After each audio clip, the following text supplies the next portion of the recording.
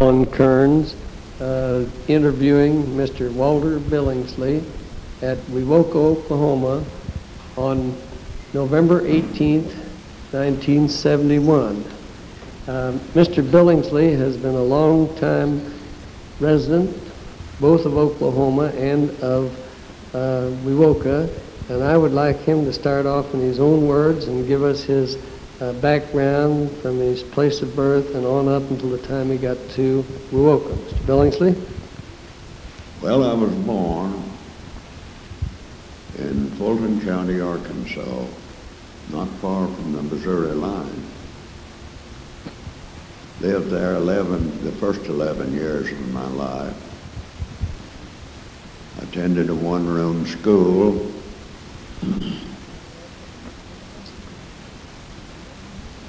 About five months a year, two months in the summer, three months in the winter. In 1905,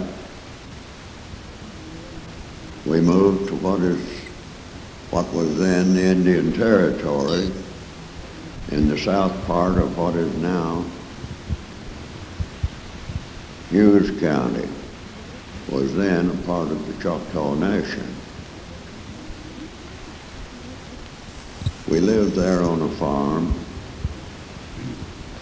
About the only school that we had, the little town we lived near was called Stuart, S-T-U-A-R-T, named after old Judge Stuart, who lived in McAlester and was a great lawyer. In 1908, right after statehood, I attended Teachers Institute at Jones Academy, an Indian boarding school for boys. Where was this located, Mr. Billingsley? about four miles north east of Hartshorne in uh, Pittsburg County. I was fortunate enough the end of the four-week course to receive a certificate to teach school. This institute was held for six or seven counties in southeastern Oklahoma, extending all the way to McCurtain County, I think. I'm sure Atoka County was in it. That fall, I've begun teaching school about two months after I was 18 years old.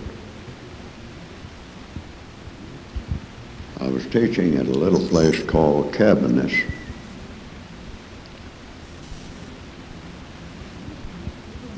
About 16 miles west of McAlester. It was a one-room school, a new schoolhouse, large, with two big stores.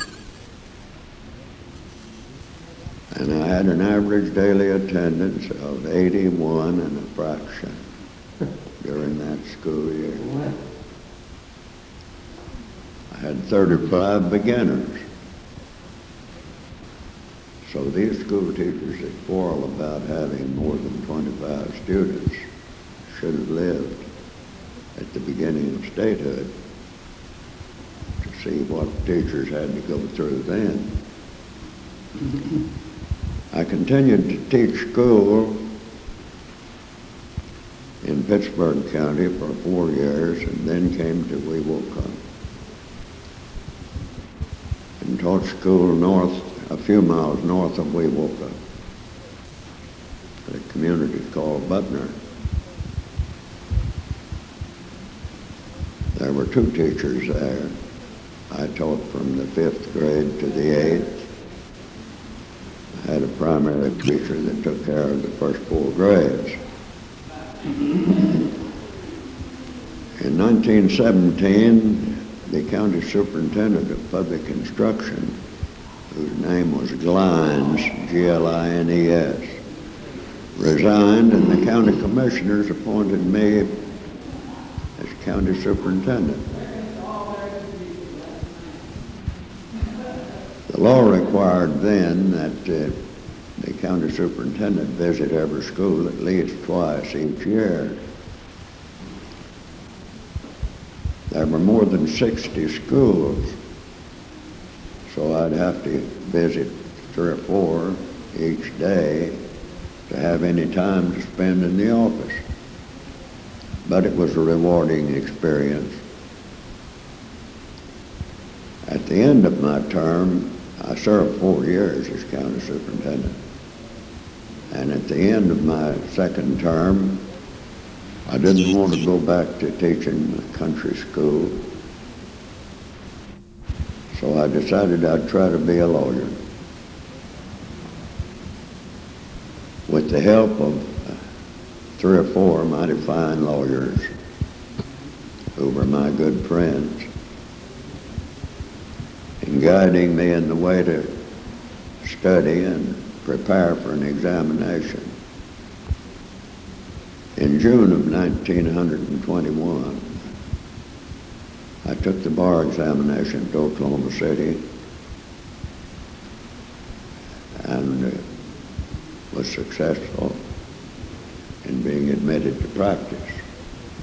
I think that's outstanding for never having had any formal legal education. Well, I, actually, I went to school 37 months in my life. Well, The longest period of time I went to school was five months at one time. that is remarkable.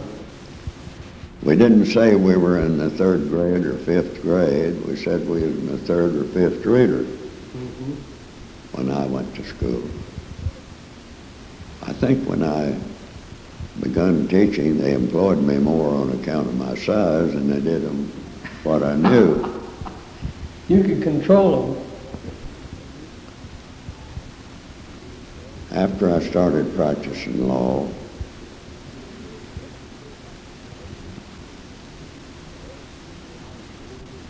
I decided that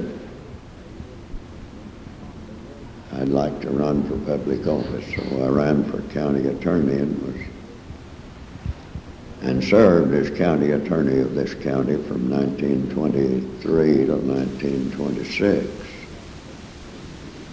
In the meantime, the oil boom had started in Seminole County. And when they got the first big well at Seminole, I resigned as county attorney and entered the private practice of law.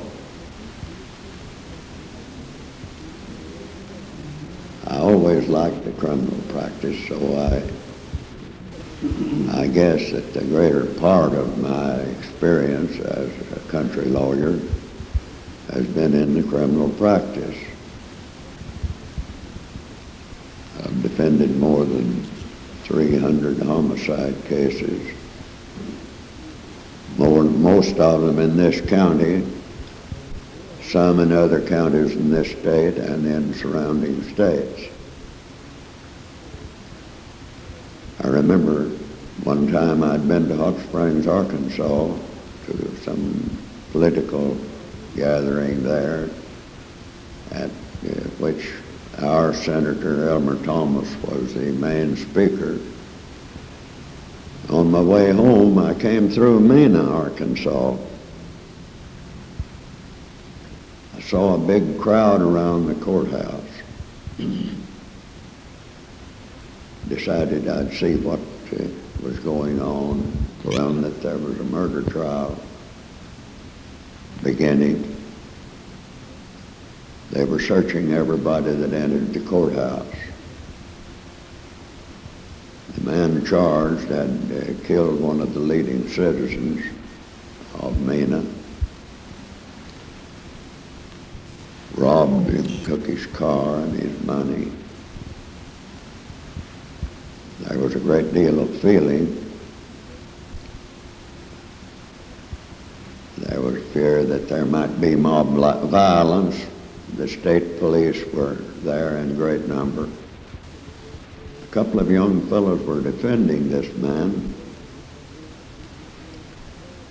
but the situation was a little too much for them, and they were having trouble even impaneling the jury.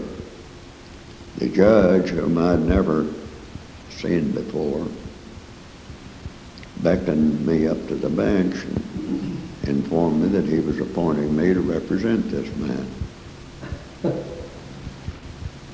I advised the court that I didn't have license to practice in the state of Arkansas. He said, you have now. I'm just admitting you to practice. So I spent the next two days defending him, pled temporary emotional insanity, and was able to hang the jury for seven hours, but they convicted him, which was right and proper. I've tried a good many sensational criminal cases. Some of them I remember the name of my client and some I've forgotten.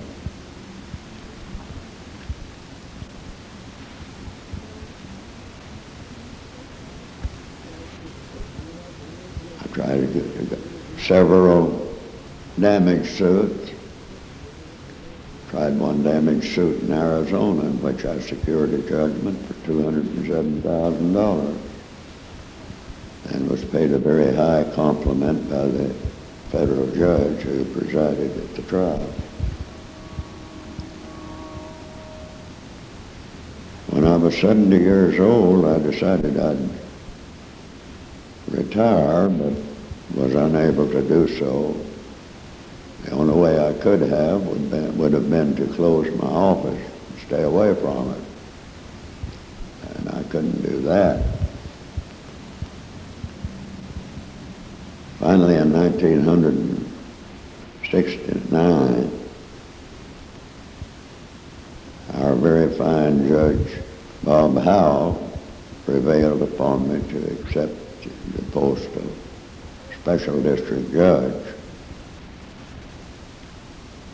I'm still doing the best I can to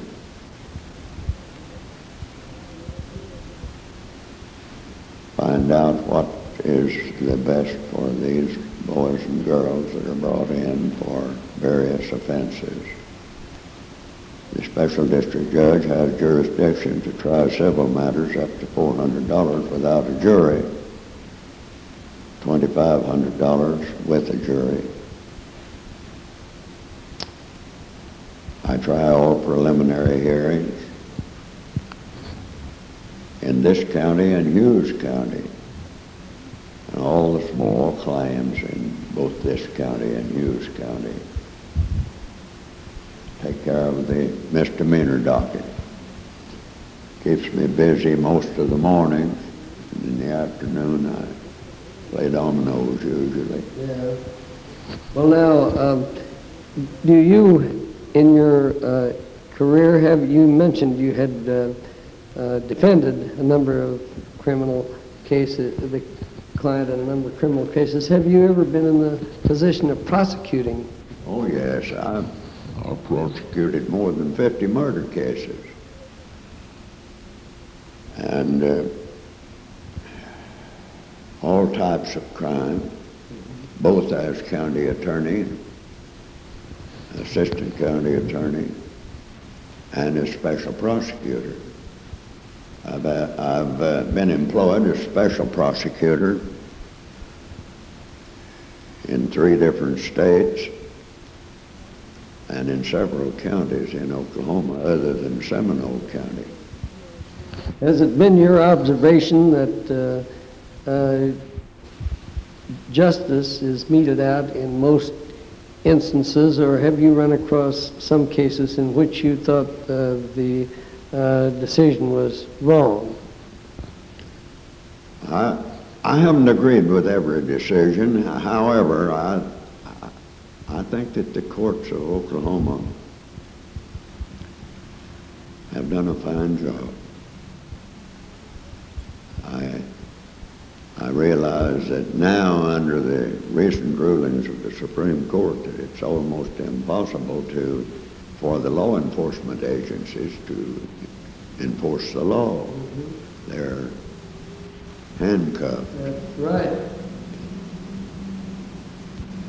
Don't you think that this uh, trend in the Supreme Court personnel may change this somewhat in the next four or five years? I certainly hope so. If, if peace officers are not, are not protected in their attempts to protect the people, then anarchy is the only thing that can follow. I agree entirely. There's one thing I was uh, curious about getting the opinion of uh, one of the legal profession. Have you any uh, feeling as to the necessity of a 12-man jury compared with what they're now proposing, six-man juries? I think in most cases a six-man jury would be as well as 12.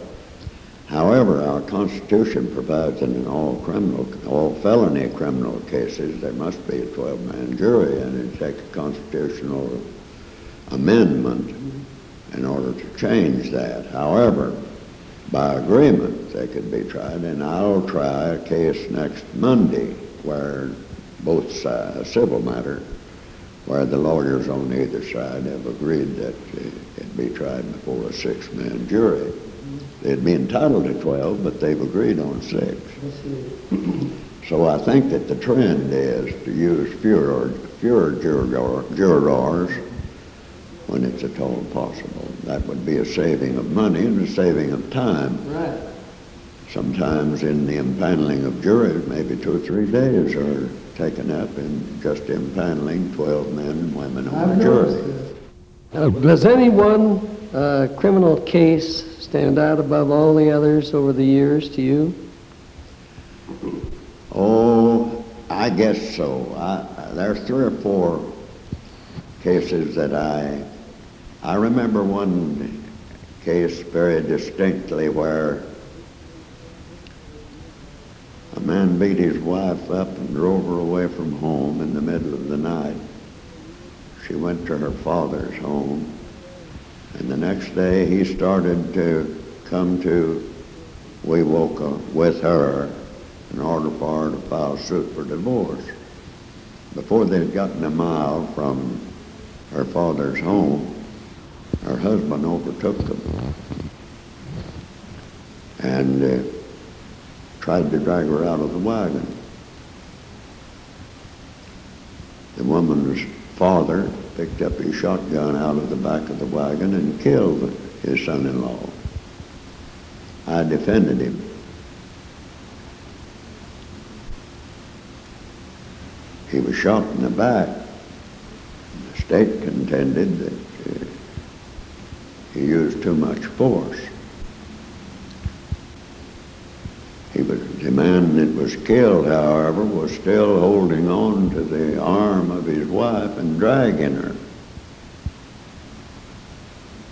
Of course, we, I defended him on the theory that every man has a right to fight in his own necessary self-defense or in the self-defense of the one that's near and dear to him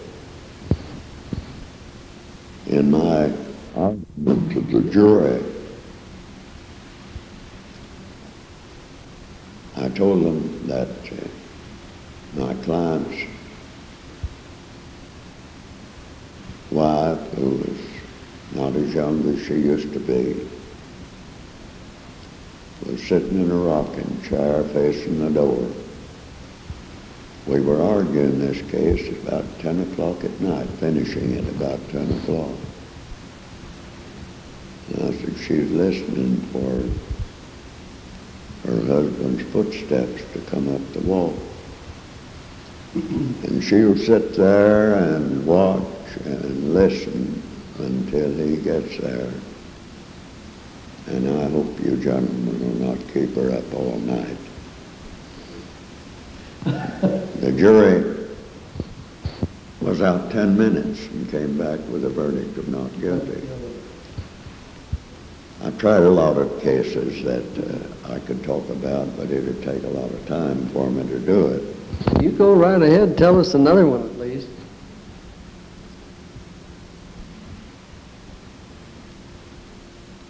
We had a We had some fine lawyers in Seminole County in the early day.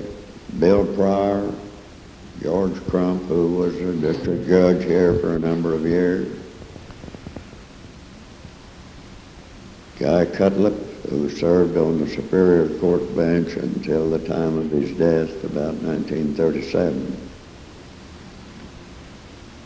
I've known every lawyer that's practiced law in Seminole County since statehood. They have, we don't have lawyers like, uh, like we had then. They don't try cases like they were tried then. They had fights in the courts in my early days.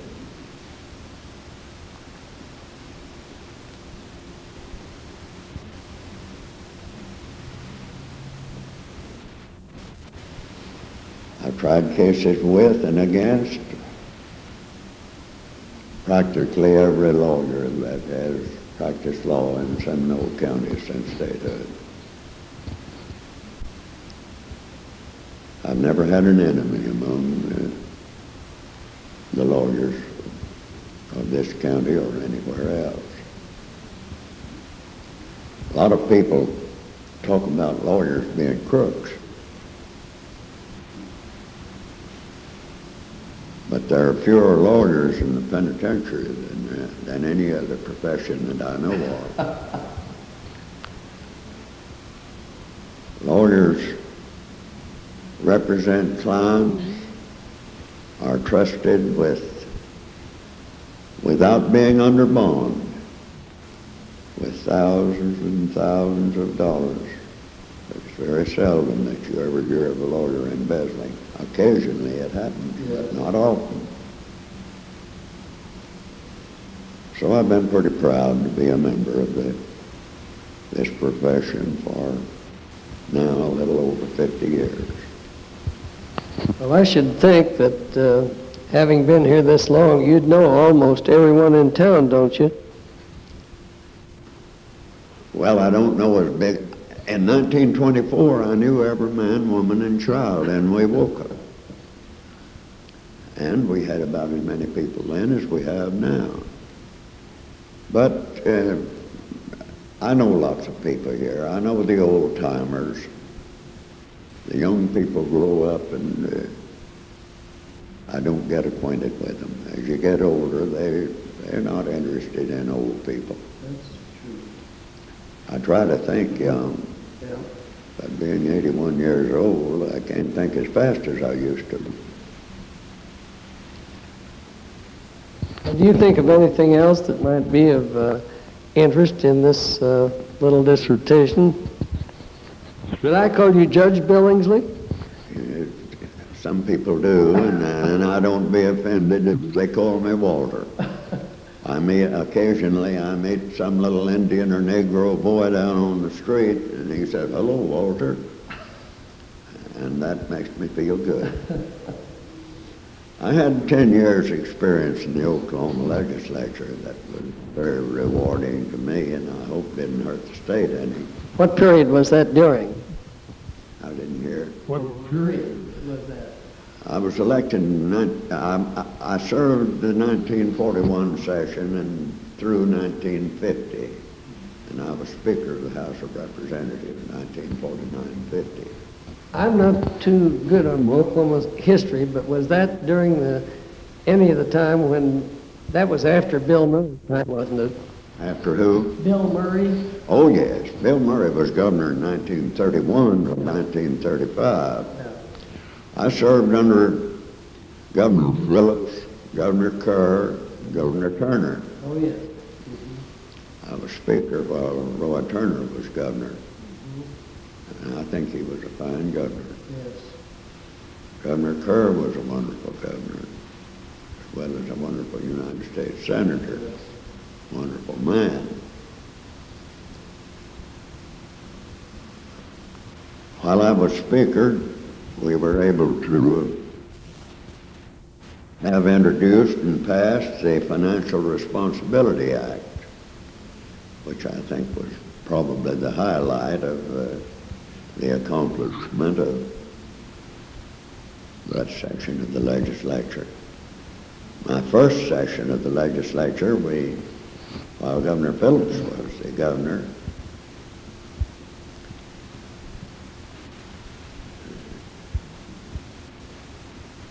we uh, enacted uh, laws that uh, kept the state from going bankrupt. Did you happen to know a man named Herbert Brannon in that regard? Yes, I, Herbert Brandon is one of the best friends I have. Herbert and I uh, were uh, vice presidents of Oklahoma Gas and Electric Company at the same time. We're both now retired, is the reason I ask you. And I knew that uh, Herbert was interested in the uh, ba- Budget Balancing Act, I believe they called it. That's right. That's, that was, that's, that was how we kept Oklahoma from going bankrupt. My father, Balancing amendment. my father helped Herbert uh, in his first campaign for the legislature. I get a Christmas card from Herbert Brandon every Christmas. I'll give him your regards when I get home. Well, been a pleasure to talk into this instrument. Thank you very much, Judge, and if you think of nothing else, why, we will say that this is Rolland Kerns terminating a very interesting interview with Judge Walter Billingsley, which I think I left off in the title in the introduction of the thing, in November, on November 18th, 1971, at Wewoka, Oklahoma. Thank you very much, Judge. Thank you.